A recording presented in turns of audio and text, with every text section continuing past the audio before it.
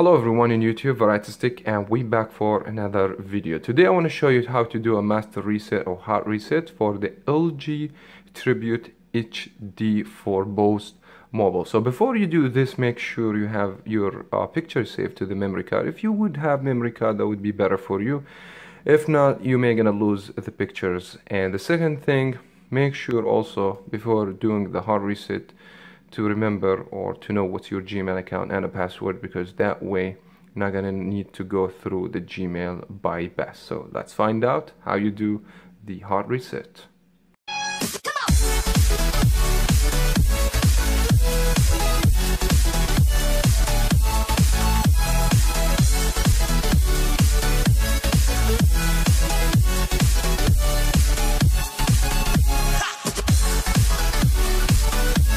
First, you should have the phone be switched off as this one and then what we need to, to use the volume up and the power. So first you have to to push power and volume up at the same time and then you should see the LG logo.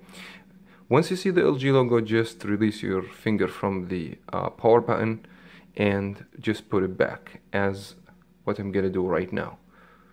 Volume up and power LG take my finger from the power and put it back and then should take you to this screen. Go ahead and click yes to confirm the process and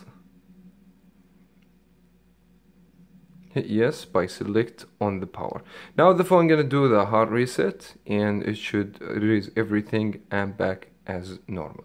Now if you're stuck with the gmail account and you don't know the gmail account i'll leave also another link for a video that I'm going to do a Gmail bypass as well.